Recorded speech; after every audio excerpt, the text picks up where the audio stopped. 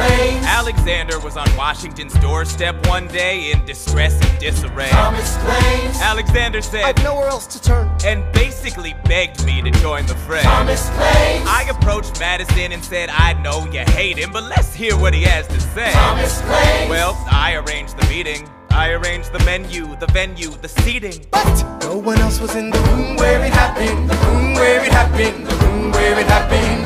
No one else was in the room where it happened.